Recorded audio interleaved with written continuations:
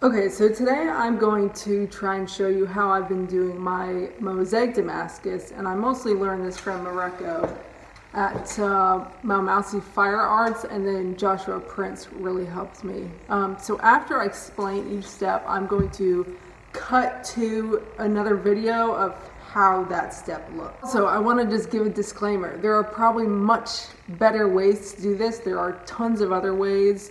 This is just one simple way that made sense to me in my brain and, and the easiest way for me to do it.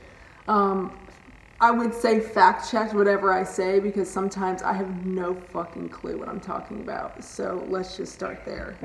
Okay, so for this mosaic billet, what I'm gonna do is I need to start off with two separate billets. One of them is gonna be what I call just regular C's, and then the other one is gonna be double C's. So for this is going to be shown how to make just a regular single C. So what I do is I start off with usually 16 layers because that's about half of your 48 inch long steel that I get from New Jersey Steel Baron. And you're gonna alternate the steel, so it would be 15N20, 1084, 15N20, you know, etc. So just a regular squish, you're just gonna squish that billet down flat, like so.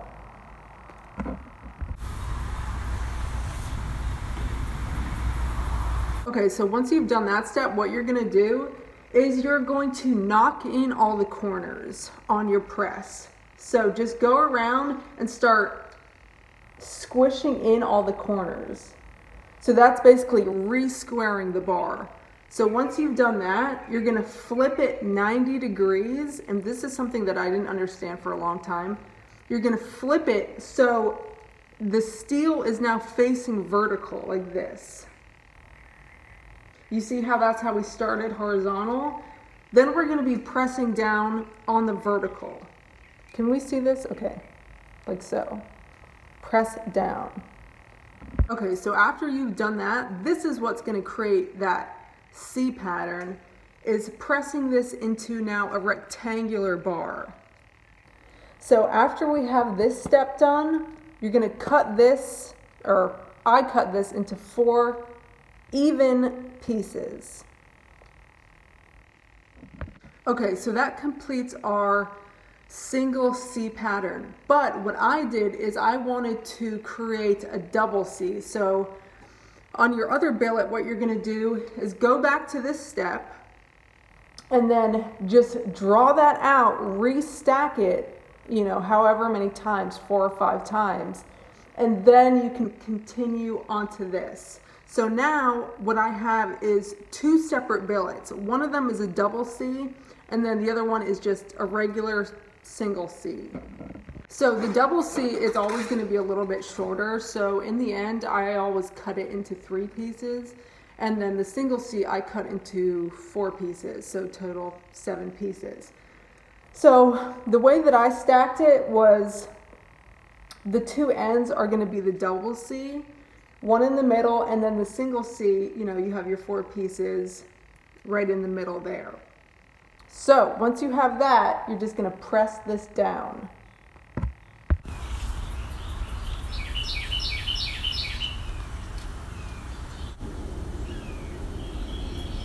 So once that you have this pressed down into a square bar, what you're gonna do is flip it 90 degrees and then only press it from the top, but maintaining the side. So you're going, you're gonna press it from the top, flip on the side, you know, crush it in, go from the top until you have another square bar.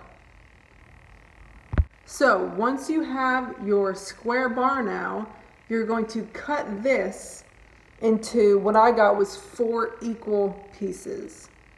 So remember, you have to grind everything truly flat and grind all the lines. Now you can etch the ends and then figure out which way you want your pattern to go.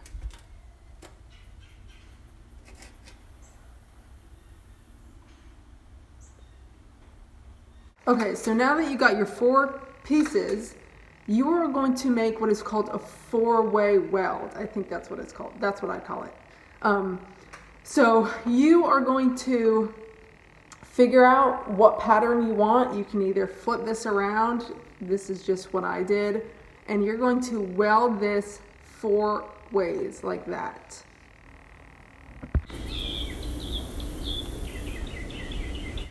So this is what the billet's going to look like when that four-way is all drawn out.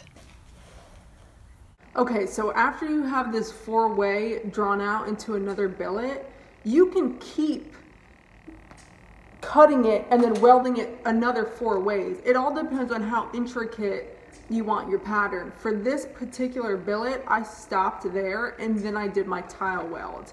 But if you want, you can now cut this into four sections and then go back to this step and weld it again.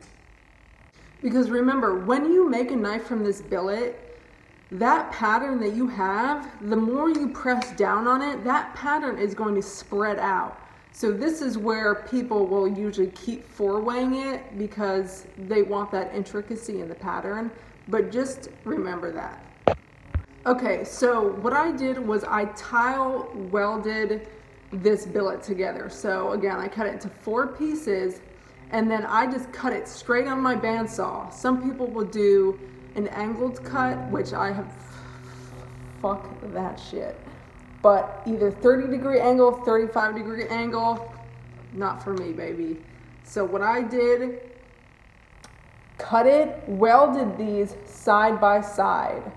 So this is what the four-way billet looks like. So remember, you, you're going to grind all this scale off.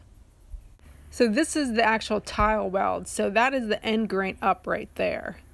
I did lose one of the pieces due to cracks, RIP. Also, once you're at this step, you want to be, and always remember, you want this shit hot because if it's not hot enough, shit's gonna this is this is when shit starts to spread open. And i i've been there okay. Let, let's get back to business here. So once you're at this step and you feel like it's welded together pretty good maybe a few presses what i do is i take it put it in my vice clamp and i'm going to grind off all the welds so i, I use mig so it's going to get in deeper than tig. So you need to grind off all these welds, you know, on the end grain and on the sides. So do that, and then you can go back to your press and then keep pressing it. If you're just doing, you know, quarter inch billet, keep going. What I do, what I'm doing with this billet is I'm making integral knives. So I'm leaving this pretty thick. So this is what it looks like after I've grinded it with my angle grinder.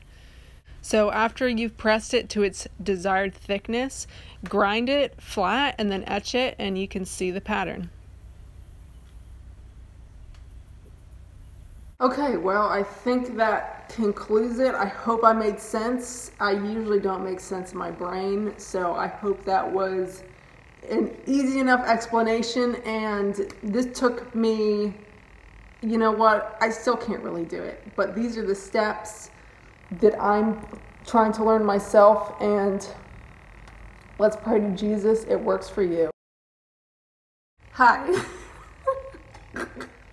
this is Olivia with This is Olivia with Wildcraft Knives. Today or do what you want. I don't care. Okay, fuck. I don't know what I'm saying already. God damn. Okay, so for this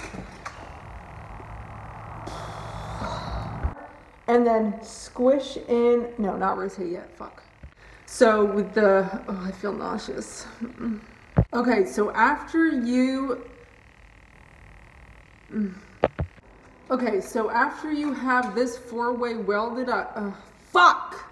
Because also remember, when you're making a knife from the, that billet, the pattern is going to spread out. I'll tell you what, I was spread out last night.